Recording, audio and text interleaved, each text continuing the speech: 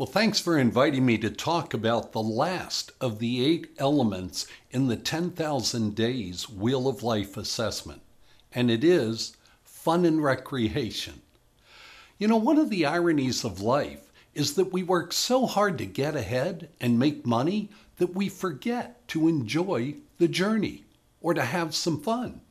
So, this is why the course weekend retreats focus on fun and recreation. Here are a few tips I've learned to help you sprinkle a little more fun and recreation in your life. First of all, the type of fun and recreation you might enjoy will depend on whether you're single, married, or have a family. Now, if you're single, there's lots of things you can do on your own. You can travel, take classes, exercise, visit museums, learn a foreign language, or go to concerts. And by the way, all of those activities are fun with a spouse or family, except airplane travel.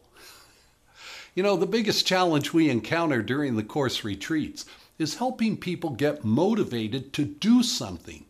It's easier when you have a spouse or kids egging you on, but if you're single, you really need to push yourself to have fun and stay active.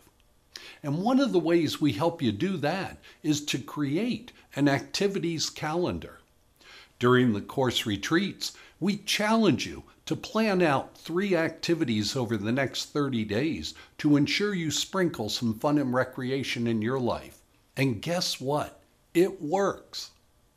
So, if having a little more fun and recreation in your life is important to you, I think you should attend the course retreats. For more information on dates and schedules, visit our website at 10,000days.org. I'm Tom Hinton, and I look forward to helping you make the rest of your life the best of your life.